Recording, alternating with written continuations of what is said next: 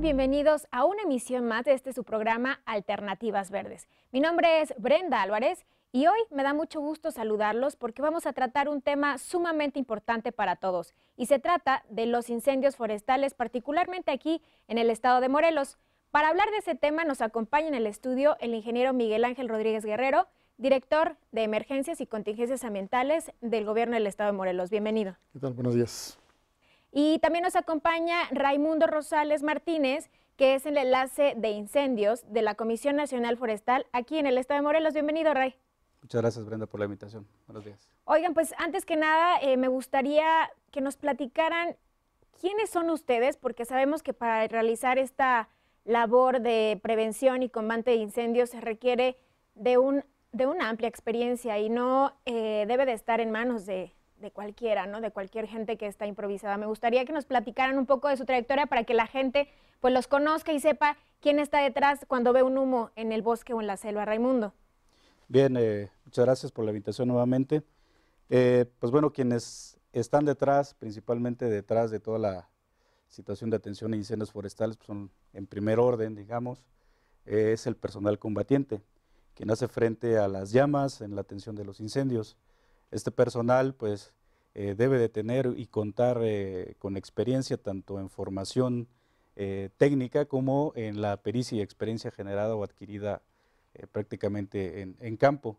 Y son, son quienes pues nos sacan adelante tanto en este caso el equipo de Miguel como el equipo de, un servidor y el demás equipo desde luego de, algunos municipios y, de comunidades principalmente. ¿no? Digamos que son los brigadistas forestales que muchas veces se llegan a confundir con los bomberos. ¿Nos puede explicar un poco esta diferencia, ingeniero? La principal diferencia es el, área donde trabajamos. ¿no?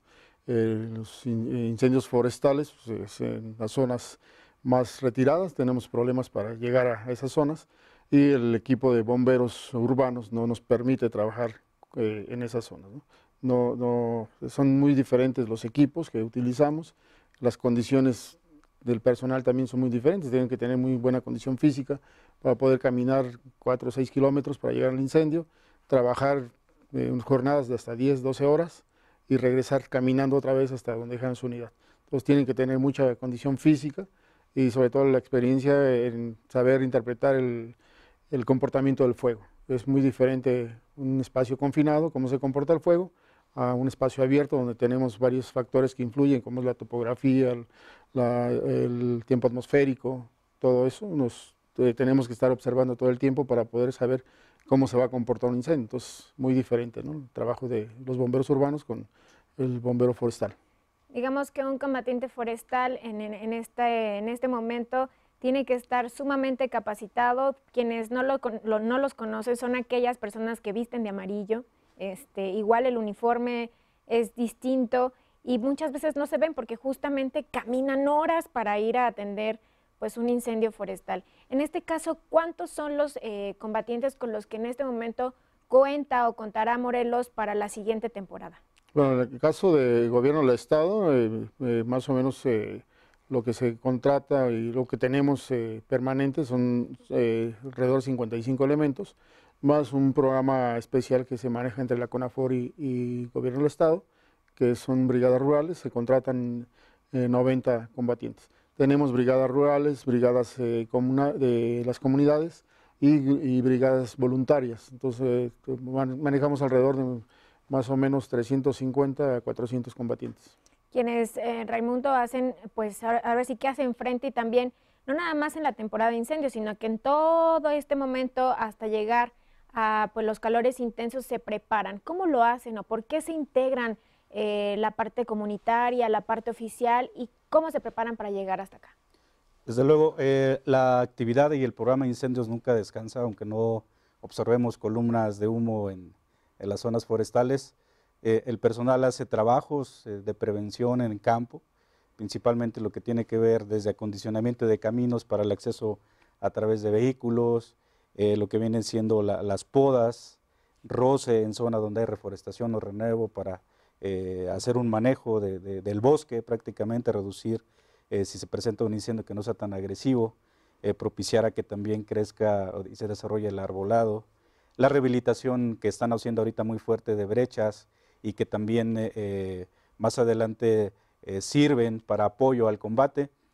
También se están haciendo algunas actividades eh, que tienen que ver con el uso del fuego, es decir, eh, aplicar de manera técnica y bien planificada el uso de fuego en algunas zonas para propiciar la reducción de la carga de, combustibles y que esto permita también que se desarrolle mejor parte de lo que viene siendo la vegetación o la zona forestal en el entendido de que el fuego también juega una parte importante como un factor ecológico en algunos, en algunos ecosistemas, no en todos, pero en algunos ecosistemas. Como por ejemplo, eh, ¿cuál es? Principalmente, digamos, la, parte alta del estado, así como para que la, identifiquemos. O sea, los eh, Lo que vienen siendo la, zona de pinos, lo que son las coníferas. Casi la mayoría, eh, el fuego juega un papel muy importante como un elemento ecológico que ayuda a regular o a propiciar también el desarrollo, no solamente de, la parte, digamos, de arbolado o, de, más vegetación, sino también de, la propia fauna.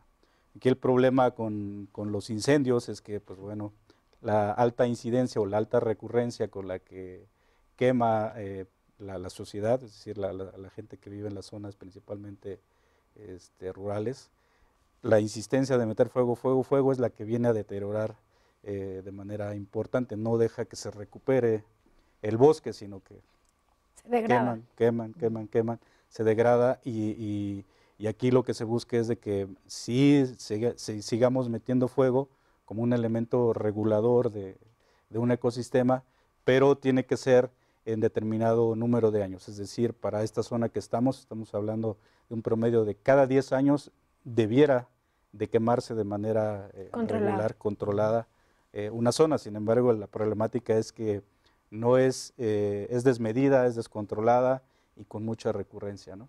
Y, decirte, pues bueno, el personal no, no, descansa, ahorita se encuentran haciendo preparativos para generar mejores condiciones de, de control, principalmente, todo lo que les ayude a controlar los incendios ya ahora que está la temporada, ¿no? principalmente con las brechas de reducción de combustibles, como decimos. Es decir, aquellas zonas que ya de por sí históricamente se han sido siniestradas, ahorita ustedes entran para hacer estas brechas.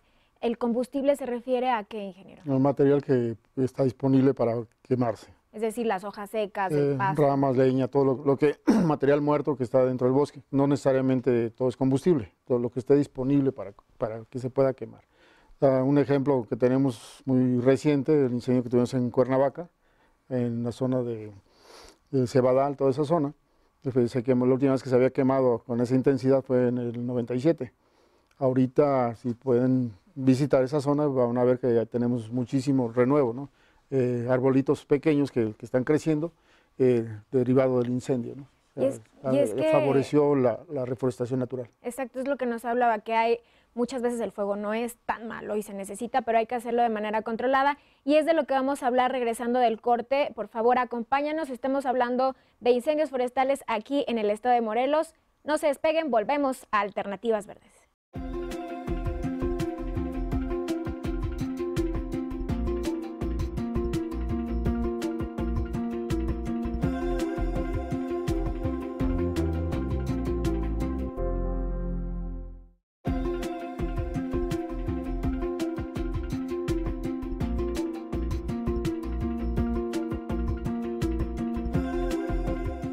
Regresamos a Alternativas Verdes. No se olviden de seguirnos en nuestras redes sociales. El tema de hoy es incendios forestales y justamente antes de irnos del corte estamos, estábamos hablando acerca de los beneficios del fuego, pero también estos beneficios que muchas veces, si no se hacen de manera controlada, pues causan muchas, muchos, eh, digamos, tienen muchas consecuencias en nuestro medio ambiente.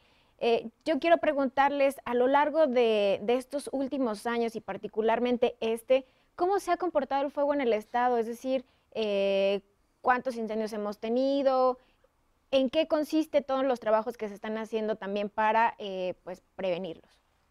Bien, eh, si tomamos como referencia los últimos tres años, es decir, de 2015 hacia la fecha, en el 2015 se nos presentaron en, en el estado 103 incendios que se registraron, que afectaron poco más de 380 mil, este, 300, perdón, este, 70 hectáreas, es decir, muy poca la superficie.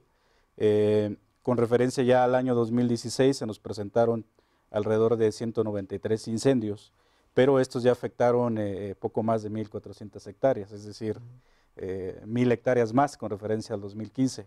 Ahora, en el contexto del, presente año 2017, se han registrado a la fecha 227 incendios, desde el 2 de, enero hasta el 1 de diciembre, y que ya han afectado poco más de 3.400 hectáreas. Mm. Es decir, si comparamos con referencia a 2015, pues tenemos eh, poco más de 3.000 mm. hectáreas más que en 2015, y si hacemos referencia contra 2016, pues prácticamente 2.000 hectáreas más. ¿no? Ahorita tenemos un promedio de superficie afectada por un incendio de poco más de 15 hectáreas por incendio. Y, pues bueno, los municipios que principalmente se afectan, pues están ya muy, identificados, ¿no? La problemática es constante en esos municipios, estamos hablando de cinco o seis municipios, que principalmente es Huitzilac, Tlalnepantla, Tepoztlán, Cuernavaca, este, Tetela del, eh, del Volcán. Es decir, ha sido un año complicado este 2017 porque, bueno, si ustedes han notado e, incluso en estas eh, fechas eh, que no, pues no es propiamente una temporada de calor, se han presentado incendios. ¿Cuál es el incendio que más ha marcado esta temporada, ingeniero? de esta temporada el más complicado o más, eh, no, no, más grande necesariamente fue el de Cuernavaca.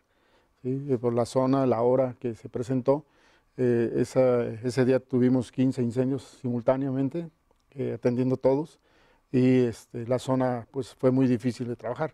Nosotros después de, que pasó el incendio hicimos un recorrido para evaluar la, situación y encontramos que, que, sí, efectivamente, las condiciones fueron muy, muy severas. Eh, no, no había forma de haber combatido ese incendio directamente con el personal. digo, es parte del cambio climático, todo lo que está dando, se está eh, comportando, está cambiando el comportamiento del fuego.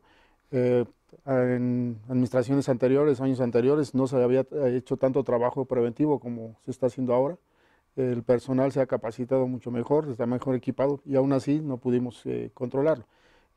después de que hicimos un recorrido, encontramos ahí, por ejemplo, en zonas donde el fuego pasó a más de 100 kilómetros por hora encontramos eh, botellas de vidrio fundido, así como charcos de, si fueran charcos de agua, vidrio este, fundido, y eso nos indica que, alcanzó temperaturas de más de 800 grados centígrados.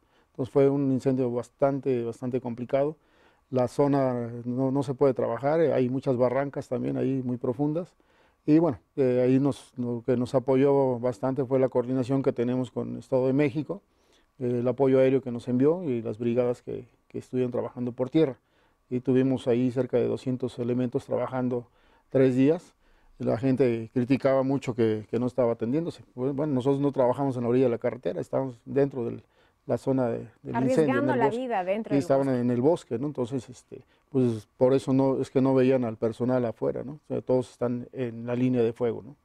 Y esto es muy importante porque la coordinación, como bien lo comentabas, es fundamental para pues atender de manera eficiente. ¿Cómo es de que ahorita en estos momentos se está pues coordinando esa prevención, esa atención y combate a estos incendios, Rey? Bien, eh, eh, con base en la, estrategia nacional que, estableció CONAFOR ya hace algunos años, eh, están los niveles de atención, digamos, desde los incidentes o incendios menos complejos o más tranquilos, que son los tipo 5, hasta llegar a, a los tipo 1, que son los más complejos de mayor este, dimensión, por así decirlo. Eh, con base en esa estrategia, pues bueno, eh, se estableció la creación de, los equipos estatales de manejo de incidentes, la cual a partir de 2014 para el caso de Morelos comenzó eh, pues la integración, la formación, la capacitación y la puesta en marcha de algunos simulacros, pero ya a partir del año 2016 fue que eh, a necesidad de, atención de un incidente en Tepoztlán, pues se tuvo que activar y en este año pues se activó en dos ocasiones para el, incendio que ya refería el ingeniero Miguel, el de Cuernavaca, que se le denominó complejo eh, Cuernavaca porque fueron tres incendios simultáneos, era un incendio al, al, inicio, pero después quemaron en dos zonas eh, aledañas y fueron tres incendios que se juntaron, ¿no? Casi se juntaron ahí, pero a lo lejos lo veíamos que era uno solo. Entonces eso le, agregaba mucho más este, complejidad al asunto. eh, y, pues bueno, a, necesidad de va incrementándose el nivel de complejidad y va incrementándose también la capacidad de respuesta y organización para su atención. Es decir, cuando hay un incendio muy grande se empiezan a activar estos protocolos, pero de primera instancia, ingeniero, ¿quién es, eh, digamos, de quién es obligación atenderlo? Bueno, de acuerdo a la ley forestal, eh, la obligación es del propietario o poseedor de la tierra, que serían los comuneros o los propietarios, ¿no? si es pequeña propiedad.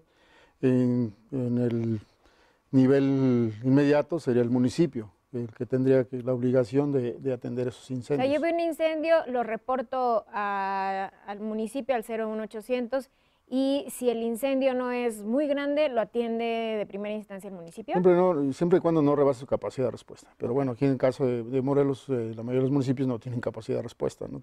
todos tenemos que, intervenir nosotros directamente. Y a medida de que este incendio sea más grande, son como se van interviniendo las instituciones. Se van sumando más eh, dependencias. O sea, la atención básica es entre CONAFOR y, y la Secretaría. Si nos rebasa, bueno, ya pedimos apoyo a las brigadas este, comunales, hay pago por servicios ambientales. Si se requiere, movemos brigadas de otros municipios que, estén, este, que no tengan incendios en ese momento, se trasladan al, sitio y una vez que, nos rebasa a nosotros, bueno, pedimos apoyo al Centro Regional de Incendios Forestales, que está en Puebla. De ahí son 10 estados que se suman y pueden este, enviar personal directamente acá. Si llegase a, rebasar la capacidad del centro regional, interviene ya el centro nacional. E incluso se ha llegado a pedir apoyo hasta internacional en algunos otros estados. Aquí, eh, afortunadamente, lo que nos ha ayudado bastante es la organización que tenemos con los estados vecinos. Tenemos un convenio, todavía no escrito, pero ya tenemos muchos años trabajando con ellos, de un programa de, ayuda mutua entre los estados, eh, que es el Estado de México, Estado de Guerrero, Puebla Ciudad de México. Ya se sumaron este, Tlaxcala, Hidalgo, incluso hasta Michoacán, ya, se sumaron a este grupo. Y bueno, si se requiere apoyo, pues nos envían el apoyo que, nosotros solicitemos. Muy bien, pues como pueden ver es una labor muy extensa, extensa perdón, y que requiere de una suma colaboración de todos. Y yo les quiero invitar a que sigan con nosotros en Alternativas Verdes porque regresando del tema les vamos a platicar cómo es que se pueden sumar. Regresamos.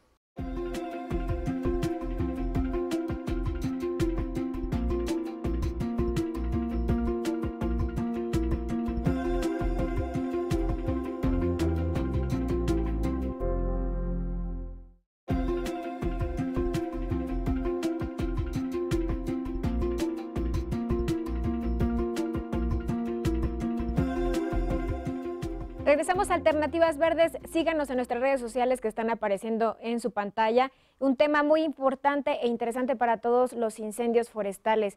Ingeniero, pues ya eh, prácticamente estamos concluyendo el año. Cuéntenos cómo es que esta labor eh, se va a, pues se va a enfrentar al siguiente, a la siguiente temporada.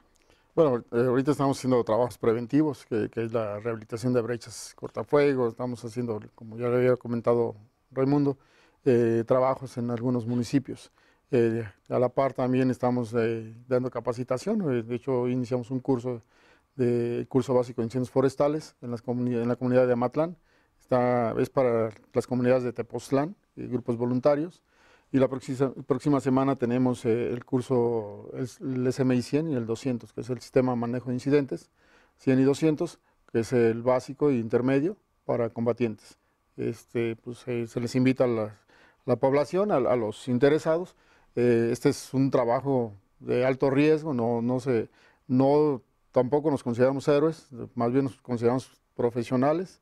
Y lo que les pedimos es que si van a entrar a un incendio, pues primero se tienen que capacitar, tienen que saber el comportamiento del fuego, tienen que saber eh, cuestiones que, que, son importantes, que nos indican cómo se va a comportar cuando entramos nosotros a un incendio. Entonces, ¿A qué número pueden llamar la gente que nos está viendo si ve un humito por ahí en una zona forestal? Bueno, tenemos el, teléfono de, protección civil, el 105 15 o el 17, el 911, el teléfono de, CONAFOR, el 01800 incendio, o el de la Secretaría, es el 326-1971.